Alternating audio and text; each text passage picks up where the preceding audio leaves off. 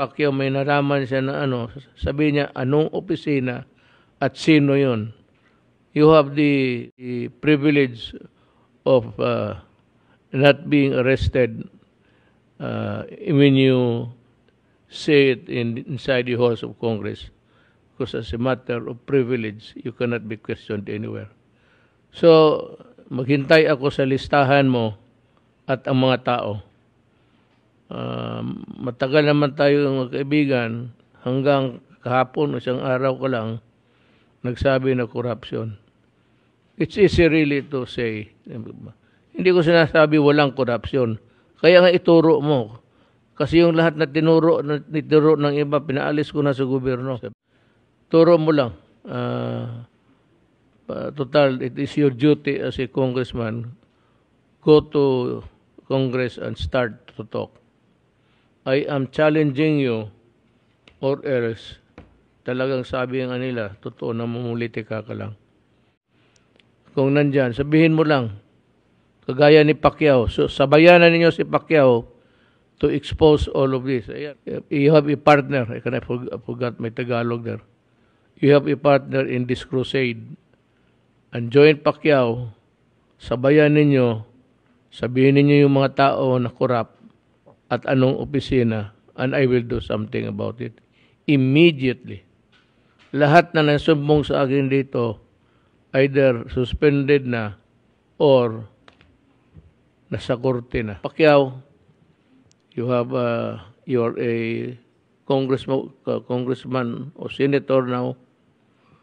Uh, go to the take uh, hold of the floor sa inyong proceeding and start to sabi mo yung uh, ten, uh, twice, thrice uh, worse than uh, the last uh, presidency. Sabi mo, thrice, twice over, oh, I challenge you, go to Congress and start talking. Uh, yan ho ang payo ko rin sa lahat ng Pilipino. Kung may alam kayo, magsabi kayo, and I, uh, I will be transparent. I will investigate them. Kaya siguro wala akong alam baka ikaw may alam ka because uh, you were talking just nonchalant about uh, about about the whole thing.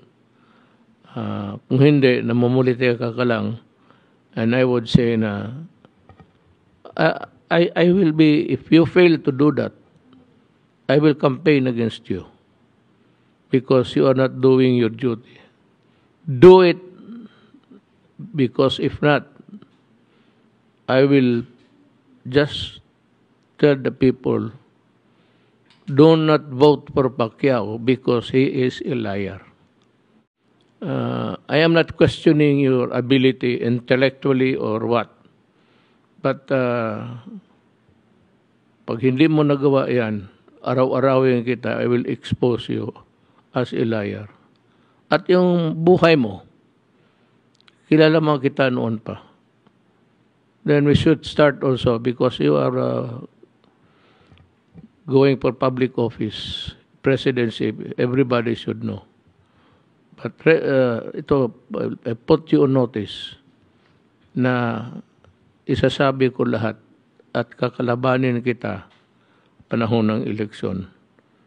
Pag hindi, I will just be another son of a bitch playing politics. Ang puso ni Manny Pacquiao manatiling mahirap katulad nila.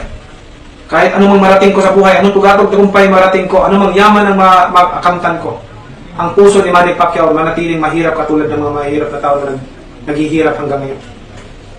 Yan po ang commitment ko and I accepted the challenge of the President. And we will submit all the documents about corruption. Ang dami, ang dami. Baka mahihilo siya sa pagbakita niya lahat na ito hindi ko hindi ko ito ginadara, hindi ko ito na ako nag-imbestiga. No, sila mismo kusang nag-submit sa akin yung mga hindi na kanakayanan doon sa sariling ahinsa nila. Sila mismo nagpo-provide sa akin at uh, binibigay sa akin at sinusumbong nila sa akin. Anong gagawin ko? Ibibigay ko doon sa uh, dapat mag-action doon sa corruption which is the executive uh, department.